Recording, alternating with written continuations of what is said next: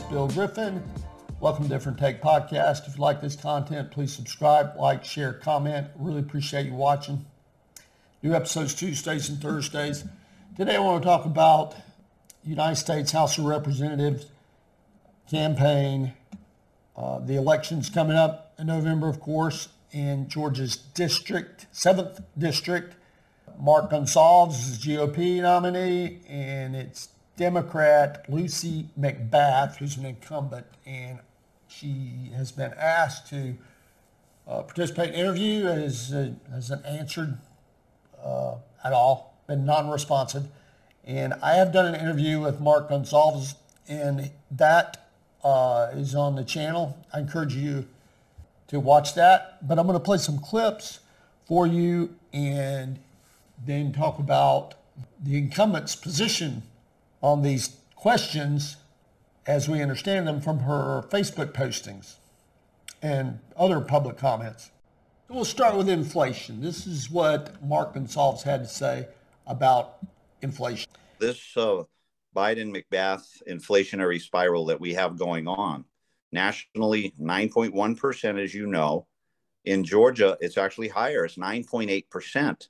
And here's the thing about inflation it's the most hideous form of tax bill to the people who can least afford it. So, this party is supposed to be the party of the downtrodden, the working men and women.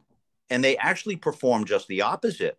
They've become the party of the elite coastal class. That's who they represent. And that's why socialism and really full on communism, Marxism look so attractive to them. So on Lucy McBath's Facebook page, the word inflation appears three times since the beginning of the year, and she's posted many, many times on her Facebook page. This particular, this is an example of what you will see. On hashtag Labor Day, I'm proud to honor the hardworking Americans who support our nation and our economy. Thanks to the Inflation Reduction Act, good paying jobs are placing workers in sectors that drive America forward. Really. So there's nothing there that says anything other than this big slush fund, very corrupt for big business, supposedly going to help reduce inflation for hardworking Americans or give them jobs in these three posts that have the word Inflation Reduction Act, she never explains how this is actually going to reduce inflation. Everybody knows that's a joke. She either thinks we are incredibly, incredibly stupid or and will buy this lie or that her constituents just don't care. They just don't care about prices going higher. I think Lucy McBath wants to increase the size and scope of government, and if the, if the dollar is being devalued is the way to do it, uh, she's happy with that. The interesting thing is Congress caused this problem by racking up enormous, enormous debt, which sort of forced the hand of the Federal Reserve to expand the money supply. They enabled Congress, there's no doubt about that, but they're both uh, culpable and then the way to fix that problem is to guess what? Spend more. So that is what Lucy McBath's position on inflation is. I don't care. I want to spend money. I want to spend your money because it gets me power, keeps me in office, it buys me votes. This is what Mark Gonsalves has to say about balanced budget. Power, I can tell you that. What do you think it will take for Congress to pass a, a balanced budget? well, first of all, it's going to take great resolve.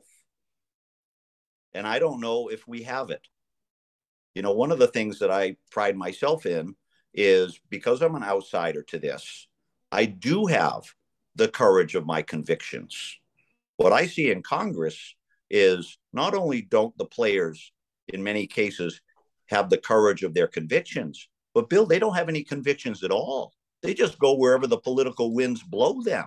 Contrast, looking at Lucy McBath's Facebook page, webs or campaign website, and the Congress uh, office's website. There's no mention from her anywhere that includes balanced and budget in the same sentence. I doubt you're going to see the word budget anywhere in any of her postings. She doesn't believe in a balanced budget. This is what Mark Gonsalves had to say about the federal debt. We are over 30 trillion in debt. But have you had Congress elevate this problem to a meaningful conversation? No. I was talking about this in the 2020 race. And at that time it was 22 trillion in debt. Now we're over 30 trillion in debt. And we still don't have a conversation. What does Lucy McBath have to say about the federal debt? As far as I can tell, nothing. Moving on. Here's what uh, Mark Gonsalves had to say about the United States southern border and, uh, well, all borders as far as that goes. What do you what do you think is driving the uh, the Biden administration to have these um, open border policies? They want to reshape America. You've heard them say it now. They're public about it. They're talking about a liberal world order. That's not a phrase that I came up with. That's a phrase that's coming out of this administration in Joe Biden's mouth himself. That should make every American pause because a liberal world order is code for a one world government, a new world order. Every country has the right I would argue it's an obligation to its citizens to secure their borders and enforce their immigration law. And we're doing neither. What we'd rather do is sic 87,000 more IRS agents on the American people. That's why I'm for the fair tax, which, by the way, was born in Georgia's seventh district. And what does Lucy McBath have to say about immigration and the border? She says she wants comprehensive reform. Look this up, or nothing. That, and basically, nothing is going to happen. That's I've heard that for years and years and years. Comprehensive. It means nothing. Nothing will happen. When people say that, they're not interested in doing anything. It's a code word for nothing. So that's where she's at with the border. This is what Mark Gonsalves has to say about the United States tax code. Taxation for the fair tax. So as a consumption-based tax, the two things I like about it is number one, it creates an environment where everyone now would have a stake in the funding of their government. And at the same time, taking into consideration a person's circumstance, right? And then number two, is would it be able to do away with the IRS as we know it today? And that would be a very positive thing. I can find nothing Lucy McBath has said about the tax code. She's not interested in simplifying it. She's not interested in consumption tax, or she hasn't thought about it, doesn't care, or hate to say it, but she may not be smart enough to understand uh, the importance of changing the tax code and what an impact that has on people. She voted for expanding the IRS, but no interest in changing the tax code to uh, something that would work for everyone. So to turn to Lucy McBath for just a second, what is she interested in? Well, she's posted many, many, many times on the subject of gun control. She doesn't believe in the Second Amendment. She expresses no support for the Second Amendment. Apparently, she wants to get rid of all guns for everybody. Uh, although she doesn't come out right and say this, but she posts about this so often and makes so many statements about it. Well, that could be the only logical conclusion that uh, that you want to have. She doesn't believe that you should have the right to defend yourself. I counted 37 posts on this subject, far and away more than, well, inflation. She didn't even, she's never posted anything about inflation. She's th- posted some on climate change, but gun control even far surpassed what she's posted on uh, climate change. This is an example of a post, Facebook post that she did on gun control this year.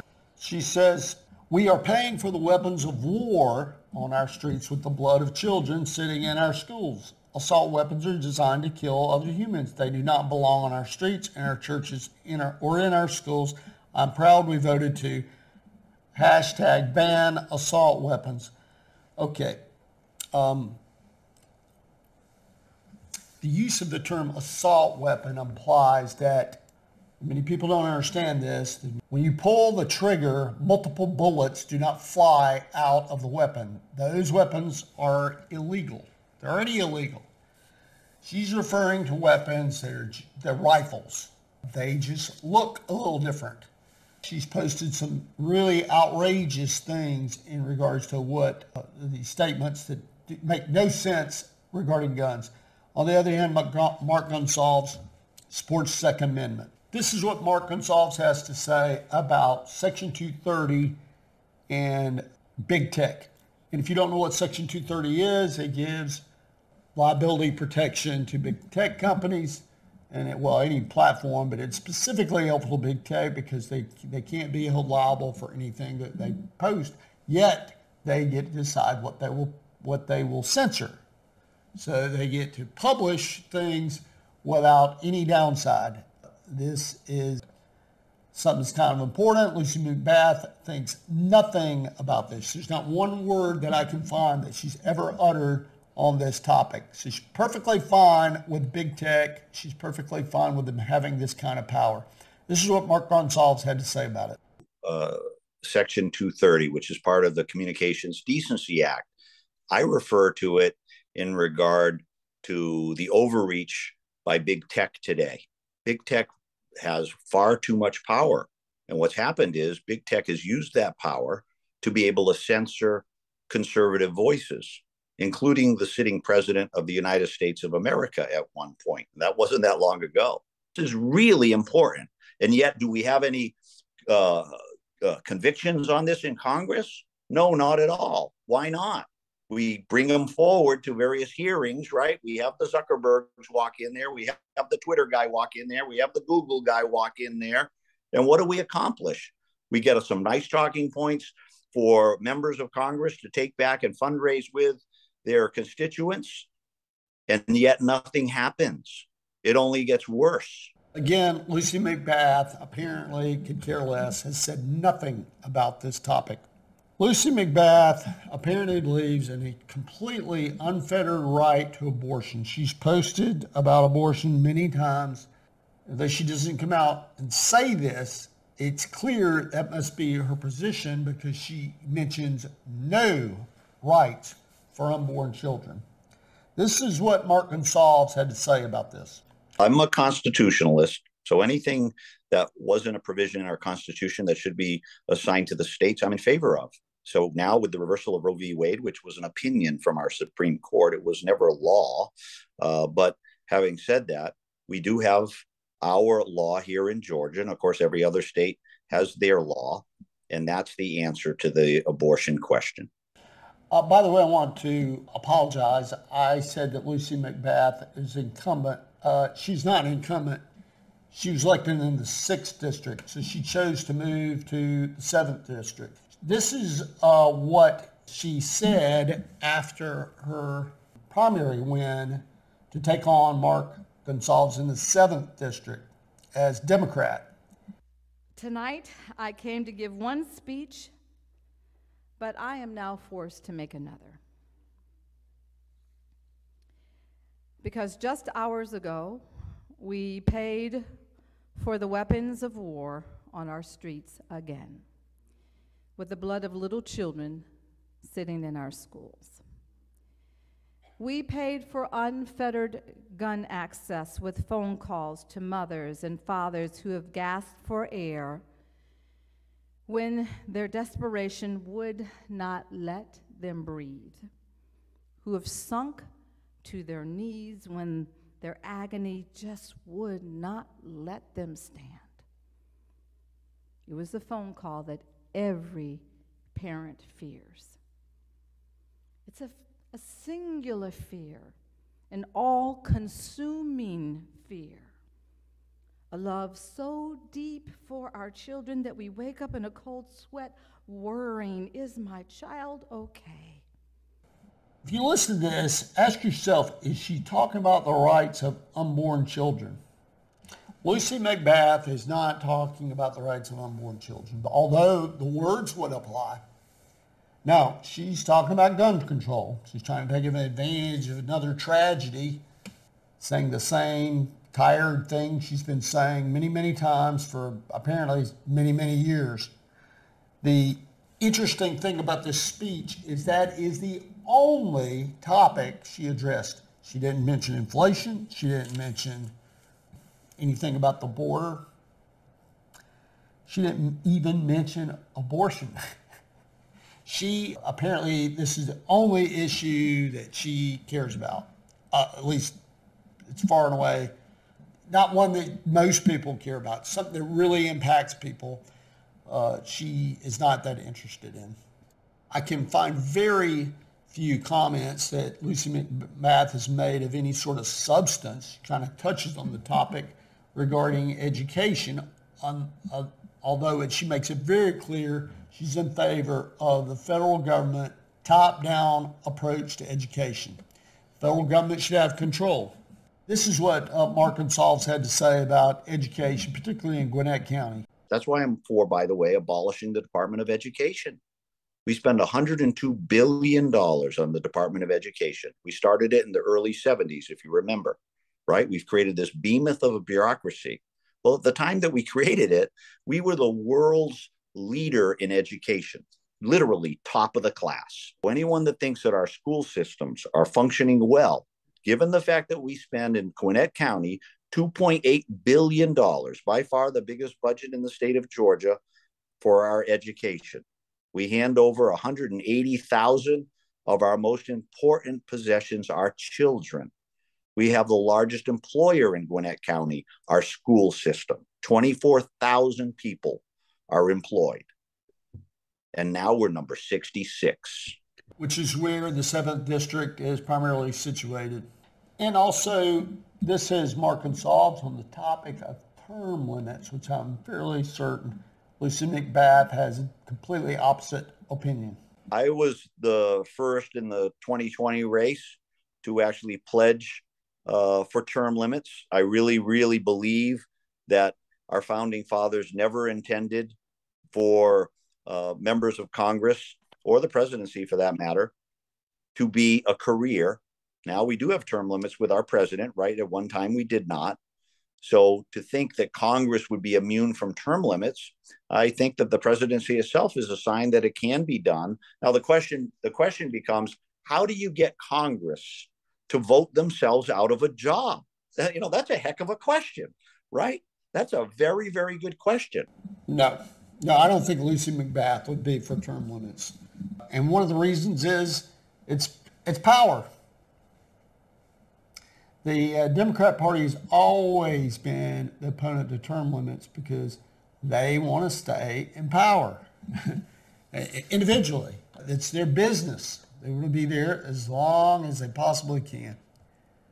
Lucy McBath, in my opinion, truly believes in the, that the federal government we should increase the size and the scope of it. There's no boundaries what government can do for the people, but the fact of the matter is it takes two incomes uh, for working class people to make it, and even then they have to get extra jobs and so forth and so on. Now you've heaped the, um, the terrible problem of inflation, and Democrats have taken a strange approach where they just don't want to talk about it, and she falls in line with that strategy. This is a serious, serious thing that America's experienced before and the political consequences. Uh, as I said in another video recently, uh, 1980, the election, inflation was a huge deal. Ronald Reagan won 44 states, but yet Democrats don't want to talk about it. And one of the reasons they don't want to talk about it is because many of them know they are to blame for the problem. So Lucy McBath has not one word that makes any sense at all on uh, what the cause of inflation is, nor what the solution is. She also has uh, no no opinion on a balanced budget, the amount of federal debt. Uh, I realize those things are kind of intertwined, but she has nothing to say about that, nor about protecting the border. She talks about comprehensive reform. That means nothing. That means I will do nothing. She doesn't talk about Section 230. Her position on abortion is really quite extreme. She's willing to send uh, weapons of war to Ukraine, but then talks about uh, preventing uh, Americans from preventing them from exercising their Second Amendment uh, right. Lucy McBath talks about diversion, equity, inclusion, justice, equality, anti-racism, and that sort of thing. A lot, a whole lot, but ignores the things that people really, really are affected by instead of things that people really care about, she posts about things such as this. Happy National Dog Day to my favorite workmate, Harley. We love you even if you tend to sleep on the job. This were a one-off thing, she posts about these sorts of things all the time. All the time. That's fine if she'd also deal with the important issues of the day, she's not talking to her constituents, she's not explaining to them, and the media is does not push uh, for uh, this to happen either. They don't push for interviews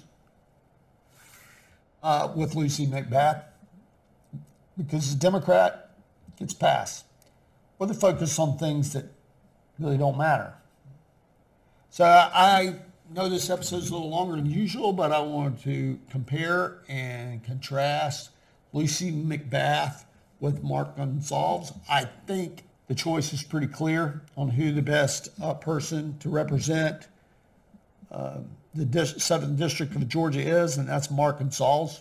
So I hope you vote for him. And uh, I hope you enjoyed this episode. Thanks for watching. Uh, if you like this content, please subscribe, like, share, and let me know what you think. I really appreciate it.